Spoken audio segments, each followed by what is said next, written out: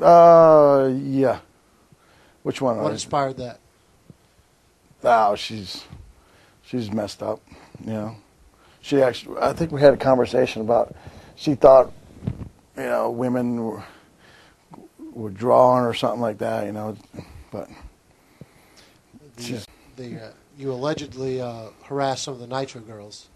oh, they were just a bunch, a bunch of tramps, man, from Atlanta. Uh, who, I never harassed any of them. You know, I didn't. I didn't give them the time of the day. You know, it's like one was a cold core. You know, it's like they were just they were messed up girls, man. The strippers. You know what I mean?